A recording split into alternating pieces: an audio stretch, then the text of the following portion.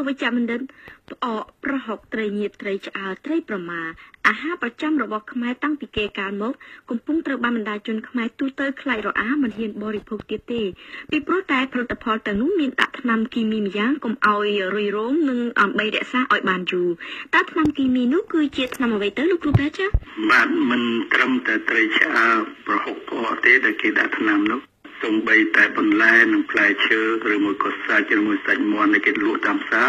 ក៏គេមានបាញ់ថ្នាំនេះដែរបាទថ្នាំដែលគេយកទៅបាញ់នោះឈ្មោះហៅថា Formol Formol ជាអ្វីទៅចា Formol គឺជាជាតិគីមីមួយយ៉ាងអឺដែលមានជាតិពុលក៏ប៉ុន្តែវាមានគុណភាពរបស់វាមាន4យ៉ាងទី1គឺជាថ្នាំជាតិគីមី ដែលគេសម្រាប់យកទៅ ដើម្បីទុកត្រាំរបស់អ្វីមួយឲ្យបានយូរកុំឲ្យវាស្អុយ ទី2គឺជាថ្នាំដែលគេដាក់ទៅលើត្រាំយកសាច់ទៅត្រាំដើម្បីឲ្យសាច់នោះដែលជិតស្អុយផុយរួយហើយធ្វើឲ្យសាច់នោះមានសភាពរឹងឡើងវិញដូចជាសាច់នៅថ្មីបាទហើយទី3សម្រាប់អ្នកដែលគេយកទៅធ្វើជាតិថ្នាំសម្រាប់លាបជញ្ជាំងអីហ្នឹងឬមួយក៏ជូតឥដ្ឋដើម្បីសម្រាប់មេរោគបាទហើយទី4គឺថាគេយកលាយទៅថ្នាំដើម្បីកុំឲ្យវាច្រេះចាំបានអានេះជាគុណភាពរបស់ Formol ខ្ញុំសូមជូនជាឧទាហរណ៍ថា ដូចជានៅក្នុងមន្ទីរពេទ្យមនុស្សម្នាក់ស្លាប់ដើម្បីកុំឲ្យស្អុយពួកខណៈខ្មោចដែលស្លាប់ហើយក្នុងរយៈពេលទឹកហ្នឹងគឺថាសាច់យើងចាប់ហើមហើយស្អុយរលួយបាទទុកមិនបានយូរទេដើម្បីទុកឲ្យបានយូរដើម្បីធ្វើបន់ទៅថ្ងៃក្រោយគេបញ្ចូលហ្វូម៉ុល1លីត្រឬ1លីត្រកន្លះទៅក្នុងខ្លួនដូចជាយើងដាក់សេរ៉ូមអញ្ចឹងមកនេះសំនេះគេអាចទុកបានរាប់ខែដោយអត់ស្អុយអត់ហើមអត់រលួយបាទហើយតើជាតិហ្វូម៉ុលហ្នឹងវាមានគុណវិបត្តិអ្វីខ្លះ ហើយយើងអាចរកឃើញជាតិ formol នៅកន្លែងណាខ្លះបាទជាតិ formol នេះគឺថាយើងតែងសង្កេតឃើញនៅក្នុងប្រអប់ថ្នាំដែលគេយកទៅលាបជាងលាបអីហ្នឹងកណាប់បើកទៅធំឈួលអាហ្នឹងហើយគឺ formol ឬមួយមិនចឹងទេនៅលើថ្នាំដែលយើងយកលាយជូតអិតអីហ្នឹងគឺថាមាន formol ដែរហើយម្យ៉ាងទៀតជាកុលដែលយើងយកទៅបិទប៉ាព្យាប៉ាំងឬបិទម៉ូកេត អានឹងហើយដែលមានជាតិ formol នៅក្នុងហ្នឹងបាទគាត់ទៅបានឈួលលាបភ្នែកលាបច្រមុះយើងបាទហើយបាទអាហ្នឹងគឺថាជាតិ formol នៅក្នុងហ្នឹងតែមិនចឹងនៅក្នុងមន្ទីរពេទ្យ formol មានទាំងដបទាំងដបដោយដបអាល់កុលអញ្ចឹងសម្រាប់ប្រើយកទៅត្រាំ សរីរៈរាងកាយដែលគេវះកាត់ហើយដើម្បីទុកឲ្យបានយូរទៅធ្វើការសិក្សាឬការវិភាគផ្សេងផ្សេងទៀតទៅថ្ងៃក្រោយបាទអញ្ចឹងបើសិនជាយើងយកមកហ្វលឆ្នាំជាតិគីមីនេះយកមកដែលគេសម្រាប់តែរក្សាសាកសពឬក៏រក្សារបស់មួយឲ្យនៅបានយូរហើយយើងយកមកដាក់នៅលើអាហារអញ្ចឹងតើអាចបង្កជាគ្រោះថ្នាក់ដល់អ្នកបរិភោគនឹងយ៉ាងណាខ្លះទៅលោកគ្រូពេទ្យបាទជាតិ formal នេះគេថាជីវិតអាយុវារស់បាន4ឆ្នាំមកក្លិនវាឬមួយស្អីហ្នឹងវាមានថេរវិលា4ឆ្នាំណាបាទ ហើយបើគេយកទៅបាញ់នៅលើសាច់ដែលដាក់លក់នៅតាមផ្សារឬមួយបន្លែនៅតាមផ្សារពួកនៅស្រុកយើងវាក្តៅពេកបន្លែគាត់បេះមកតែមួយម៉ោងក្រោយទៅពួនណាដូច្នេះអ្នកទិញគ្នាមិនចង់ទិញទេកាលណាឃើញឃើញបន្លែវាទៅពួនឬមកក៏សាច់ដែលដាក់លក់កាលណាថ្ងៃអាសៀលទៅវាចាប់ត្រុតត្រោមដើម្បីកុំឲ្យសាច់នេះវាត្រុតត្រោមគេយកហ្វូម៉ុលទៅបាញ់ពីលើទៅដើម្បីឲ្យមើលឃើញសាច់នេះវានៅ ថ្មីថ្មីបាទឬមួយក៏ប្រហុកផ្អកដើម្បីទុកឲ្យបានយូរកុំឲ្យវាខូចគេយកទៅបាញ់លើទាំងអស់ហ្នឹងទៅហើយតើបើសិនជាយើងយកមកញ៉ាំថ្ងៃនេះឬមួយថ្ងៃស្អែកឬមួយអាទិត្យក្រោយយើងអត់តង់ឃើញមានប្រតិកម្មអ្វីក៏ដោយសោះពីព្រោះអីពីព្រោះយកទៅបាញ់ហ្នឹងវានៅតិចតួចកម្រិតវាមិនទាន់ធ្វើឲ្យមានជាតិពុលផ្ដំមកដល់លើសរីរាង្គកាយយើងខ្លួនទេបាទចាចាប៉ុន្តែថ្ងៃក្រោយយូរទៅរាប់ខែទៅបើយើងញ៉ាំម្ហូបទាំងអស់ ដែលមានជាតិ formol ហ្នឹងគឺថាជាតិ formol ទី1វាធ្វើឲ្យយើងមាន allergy មានចេញជាកមរមាស់នៅលើស្បែកដូចជា eczema ទី2វាធ្វើឲ្យរលាកភ្នែកធ្វើឲ្យយើងចេះតែឈឺភ្នែកដោយមិនដឹងមកពីហេតុអីទី3វាធ្វើឲ្យយើងរលាកបំពង់ករលាកបំពង់ខ្យល់រលាកបំពង់រំលាយអាហារឬមួយឈឺក្រពះទី4អ្នកជំងឺចេះតែតិ ចតិចរៀកតិចតិចរៀកដោយអត់ដឹងមកពីហេតុអីខ្លះទៀតចេះតែឈឺក្បាលដោយមិនដឹងហេតុអីដែរបាទហើយមានអ្នកខ្លះទៀតនោះគ្នាចេះតែហត់ទៅហត់ទៅអត់ធ្វើការនៅស្ងៀមសម្រាប់សោះក៏ចេះតែហត់បាន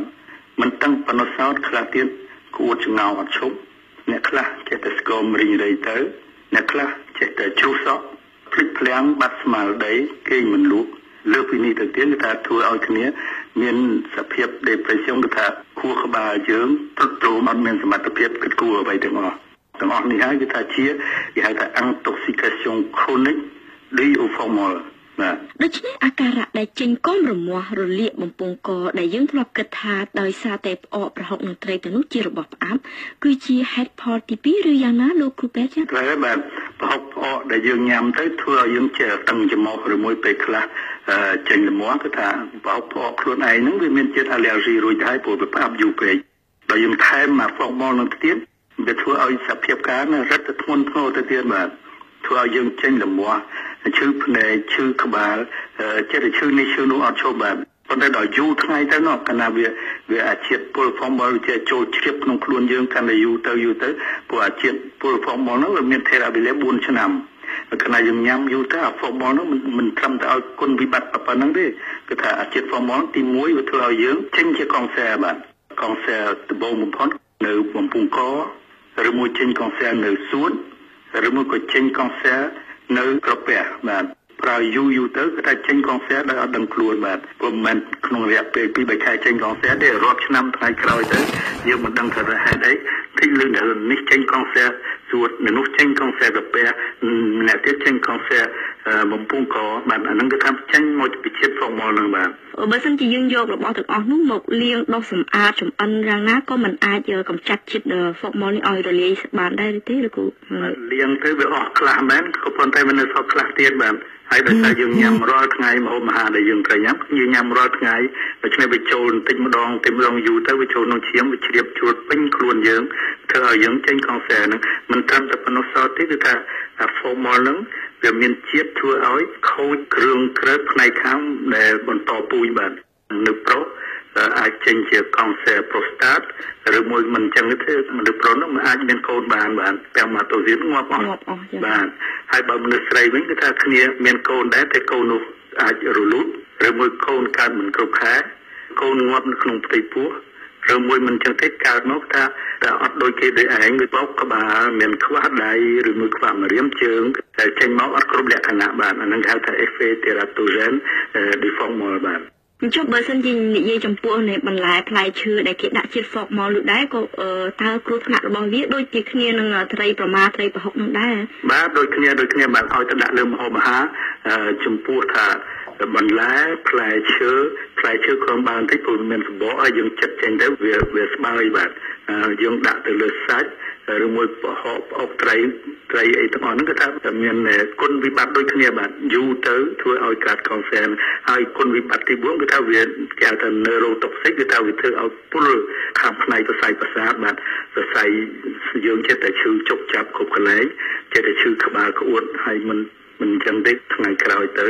ធ្វើឲ្យអាចមានចេញជាមហារីកនៅក្នុងខួរក្បាលបាទចាចាដូច្នេះដំបូងមានរបស់លោកគ្រូពេទ្យមានតែមួយគត់គឺថាសូមឲ្យរក្សាផលិតផលនោះឲ្យនៅជាធម្មជាតិដើមរបស់វាណាបាទនឹងធ្វើធ្វើធ្វើយ៉ាងណាបងប្អូនយើងអ្នកលក់ជាវាមកុំប្រើ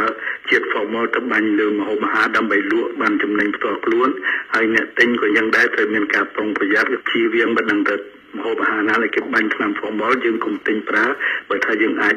ដាំខ្លួនឯងបានជាការល្អបាទអឺនាងខ្ញុំមានសំណួរជាចុងក្រោយមួយទៀតដូចជាឆោតទៅចុះថាចំពោះអ្នកដែលបាញ់តែម្ដងអ្នកដែលប្រើប្រាស់ formal ទៅលើត្រីលើសាច់ហ្នឹងគាត់ខ្លួនឯងប៉ះពាល់ដែរឬទេបាទដូចគ្នាព្រោះអាជាតិ formal គឺថាវាដូចជាអាល់កុលឬអេតាអញ្ចឹងវាមានចំហួលឡើងបាទ អ្នកដែលប្រើរាល់ថ្ងៃនេះយូរឆាប់គង់កើតមហារីកដូចគ្នាបាទមិនបាច់ញ៉ាំក៏បានទេគាត់តែហត់បាច់ញ៉ាំព្រោះអាញ៉ាំកម្មច្រើនគាត់ណាចំហួលវាឡើងលើដូចយើងទៅចិត្តគេមានអេតាអញ្ចឹងគាត់បើកក្រោបឡើងឈួលមកដល់ភ្នែកយើងបាទហើយបាទចាចាចាអញ្ចឹងនាងខ្ញុំសូមថ្លែងអំណរគុណលោកគ្រូពេទ្យលោកគ្រូពេទ្យលោកកំសុងដែលបានជួយមុខបំភ្លឺចំពោះបញ្ហាពុលជាតិ formal